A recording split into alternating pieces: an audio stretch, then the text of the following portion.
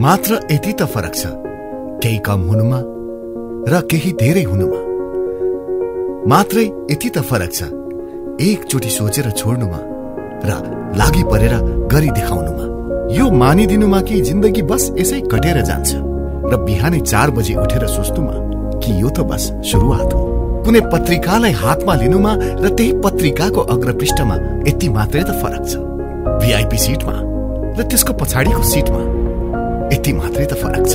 ऊ जसको मैदान आज खुला आकाश हो कुनै दिन ऊ पनि त जमिनमै त थियो सोध्यौ भने पक्कै भन्ने छ त्यो पङ्क्षीले एउटा घेरामा खुम्चिएर बस्नुमा र पुरै दुनियाँलाई आफ्नै बनाउनुमा फरक बस यति मात्रै त छ।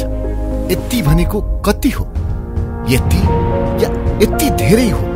यति या यति हो, जसले नाप्नेछ, उसले थाहा पाउनेछ कि धरती र आकाशको जहाँ मिलन हुन्छ नाइ हुँदैनबाट धेरै टाढा, किन्तु परन्तु सायदबाट टाढा।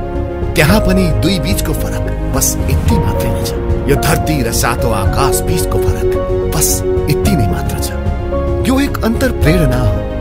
तपाईँको, हामी सबको अन्तर प्रेरणा हो। एक कदम, एक छलाङ एक गहिरो सास र एक ललकार खुला हावा।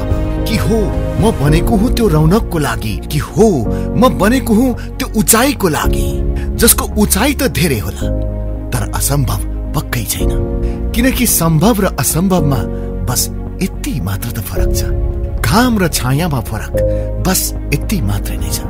त्यसो भए आउनुहोस् नेपाल फ्रेन्चाइजको साथ र यो फरक मेटाऊ Nepal franchise dot com. unlock business in Nepal.